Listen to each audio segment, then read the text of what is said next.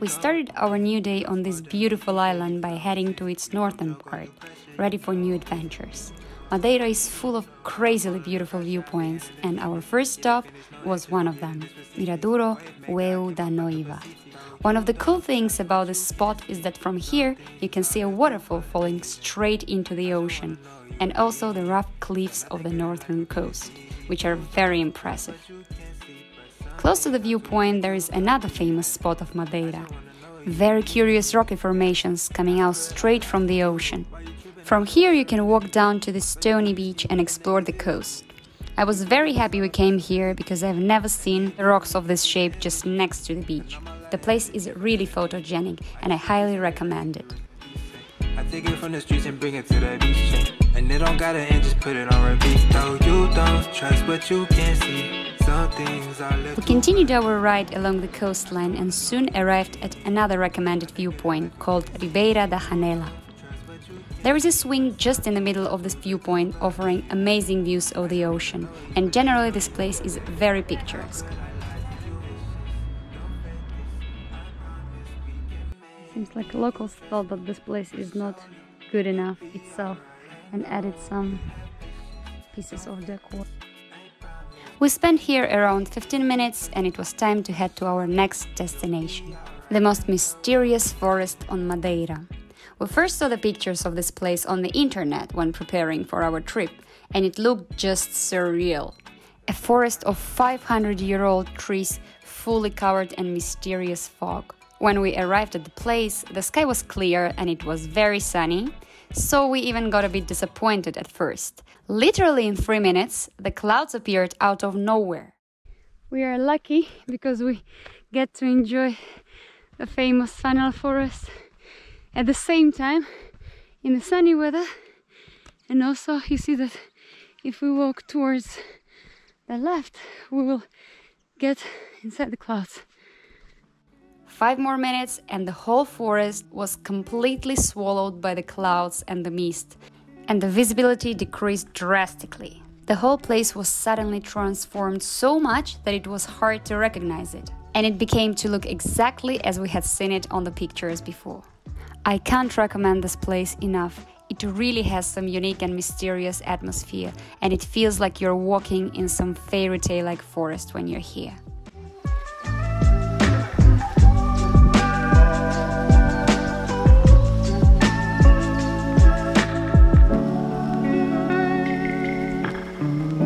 By the afternoon, we arrived to the municipality of Porto Moniz, where we had our lunch. This place is famous for its natural swimming pools created in lava formations by the ocean. The entrance fee is only 3 euros, and for this money, you get to swim in the coolest natural volcanic pools just next to the ocean. This place is definitely a must if you're visiting the northern coast of Madeira, and you can easily spend a few hours in the area.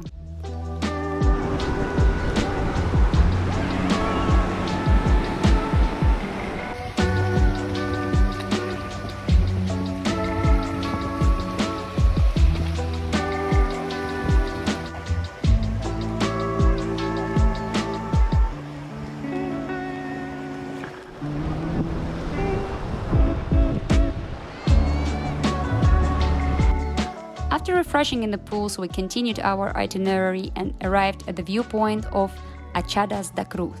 This viewpoint is famous for its cable car, which is considered to be one of the steepest cable cars in Europe.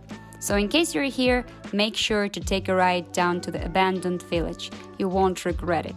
We came here in the evening, and this place looked just so beautiful in the evening sun.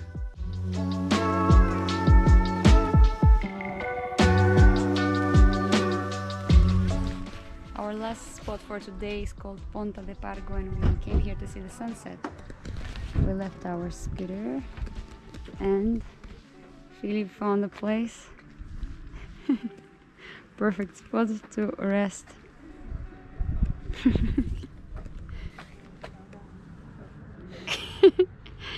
and he has a partner here. Hello, Kiki. Ponta de Pargo is considered to be one of the best spots to see the sunset on Madeira, and no wonder why. Here you will find a cute little lighthouse and plenty of space to see the sunset. Although we knew that waiting for the sunset would mean riding back after dark for almost an hour, we still decided to stay because the sunsets on Madeira are just magical. So today is our last day on Madeira. I feel sad about it because this place is magical and I would really like to stay for longer and see more places because I feel like there's so many places here to see. You could literally, I don't know how much time you need to see it all. Probably, a, I don't know, month. And um, today we decided to leave the most iconic hike on Madeira for the last day. This hike is from the third highest peak, uh, which is called Pico de Arieiro, to the highest peak of Madeira, which is called Pico de Ruivo. And they call this hike Pico to Pico. And there are just some mesmerizing views uh, on the way. Quite scary parts of the roads as well but I'm very excited to go. Originally we were planning to go there to see sunrise uh, but we have our scooter and see, in order to see sunrise we had to drive in the dark and we were so exhausted yesterday because every day is just so packed with different activities. We come back late and then we don't have energy. But today we set the alarm but it was so hard to get up. And we then thought about driving in the dark and we are like okay let's just go and do this hike a bit later. Because we already saw uh, this magical famous view from the Pico de Arieiro when it's above the clouds. We saw it at sunset. So I'm not that sad about this part and after this hike we're gonna finally explore some Funchal because we were always taking scooter and exploring the parts outside the city but today we have the whole day, well actually not the, the whole day, but half of the day for Funchal. And we will uh, see a couple of sites within the city and then uh, we just want to wander around and chill a little bit because we are quite tired.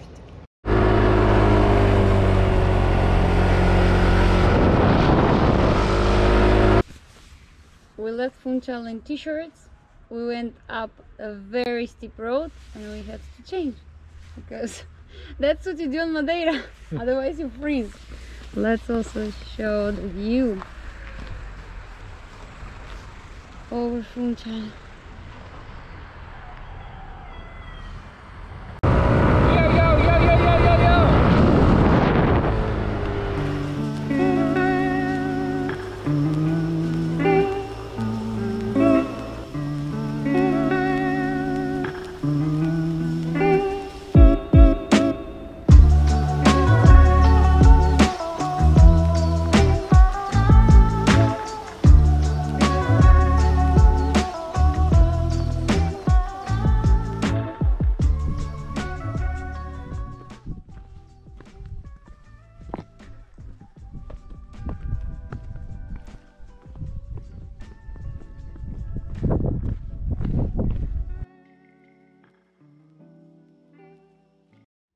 Whole Pico to Pico hike is around 11 kilometers both ways and takes around 3 to 4 hours depending on your speed. But the most scenic section of the hike is during the first 30 minutes after the start.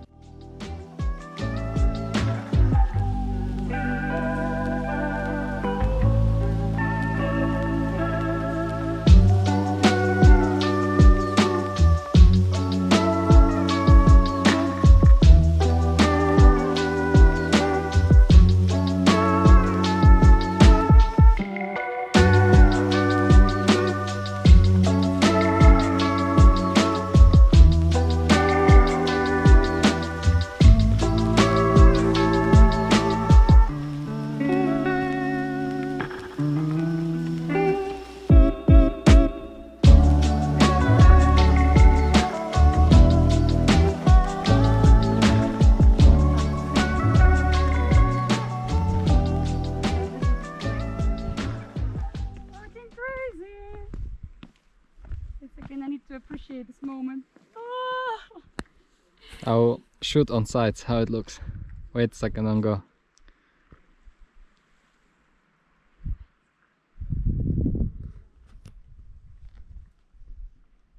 Okay, can move.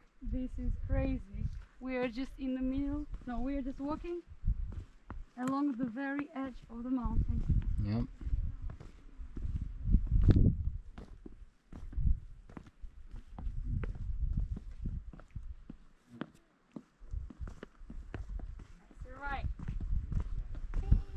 Don't run. Me and Philip only chose to do half of the hike because we had to get back to our scooter, which we left at Pico de Arieiro. You can also start this hike from the other side at Pico de Ruivo, which is the highest peak of Madeira. But in this case, you will have to do the whole hike to Pico de Arieiro if you want to see the most beautiful section of the road with the best views. Bear in mind that you will have to arrange your transportation ahead you could either rent a private vehicle or a taxi, or go with a tour, which needs to be booked at least a couple of days ahead, so keep that in mind. In case of a taxi, you also need to call the driver beforehand. Okay, we're on our way back and we have to climb up all the way to, let me show you, to that spot. So we go like this and reach the starting point. Are you ready? To climb millions of stairs. Favorite part of the hike.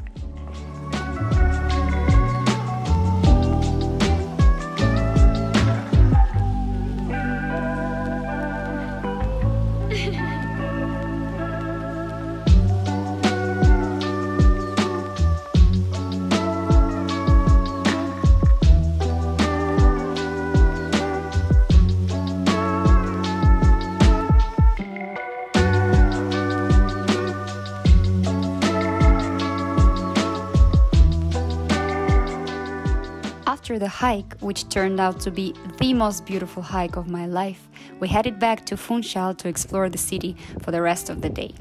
The weather here was completely different from that at the peak. It was raining and the visibility was very poor.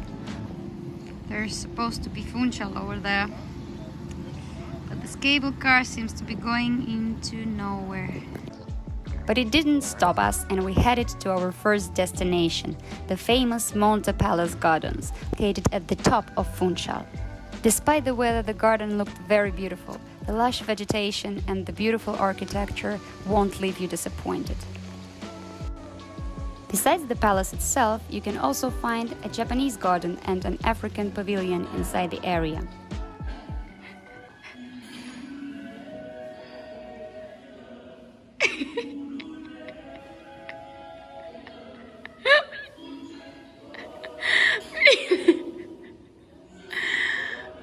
My god.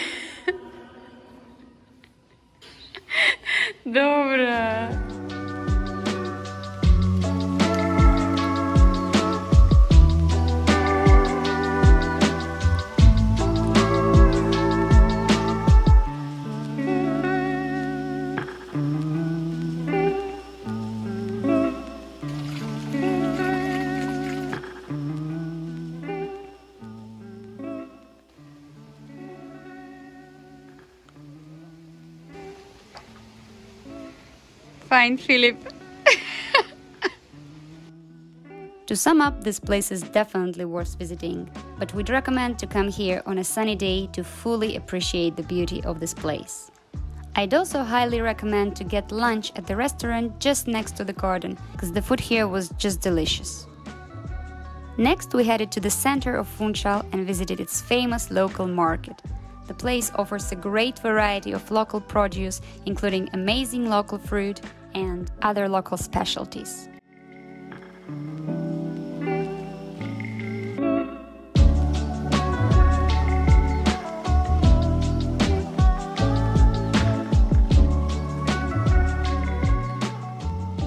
When here, we recommend visiting a chocolate store famous for its chocolate with the fillings of local fruit flavors and their passion fruit ice cream, which was really yummy. It's our last evening in Madeira tomorrow in the morning we have a flight back to uh, mainland Portugal. So we'll still have some time in Porto before going back to Poland. And to sum up, this was uh, one of the most amazing trips we had. I wanted to say the most amazing one, but it's hard because every trip is special in its way.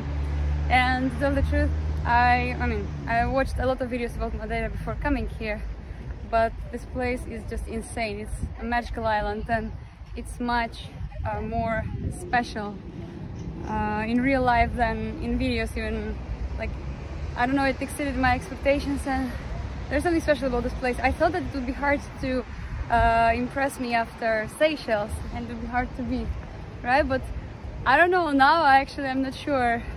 I, I can't compare these two places because they're completely different but Madeira is a truly magical island. I think I've never seen so many beautiful just crazy beautiful mountainous roads and probably here we saw the most beautiful sunset of our life at Pico de Arieiro, uh, the third highest peak in Madeira. It was just insane, I will never forget that view.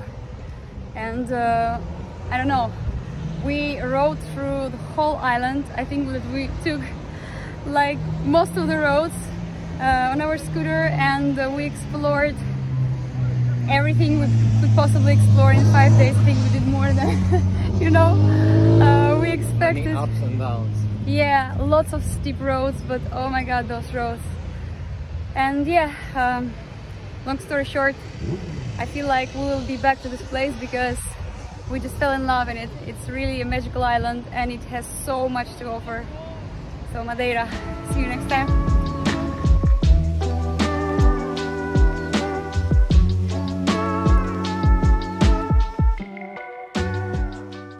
Funchal is a beautiful city to explore on foot. We started our walk from the promenade that goes along the coast, passing a small port on the way, and finally reached the old town, which is packed with restaurants, exotic trees, and amazing graffitis.